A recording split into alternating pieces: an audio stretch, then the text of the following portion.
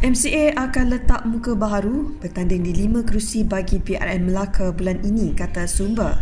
Presiden Parti Wika Siong mengumumkan senarai calon semasa pertemuan dengan pemimpin Melaka di Putrajaya semalam.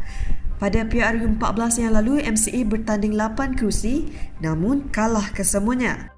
Kerusi yang ditanding oleh MCA adalah Macap Jaya, Klebang, Aikeroh, Kesidang, Kota Laksmana, Duyung dan Bandar Hilir dan Bembam.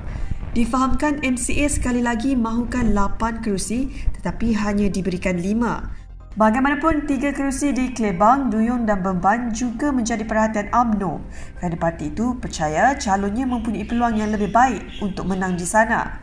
Sumber berkata, AMNO berminat dengan kerusi Klebang yang secara tradisinya ditandingi MCA yang kali pertama kalah pada PRU 14. Gotek dari PKR memperoleh 7,648 undi menewaskan Lim Bang Hong dari MCA 6,859 dan Muhammad Syafiq Ismail dari PAS 2,272.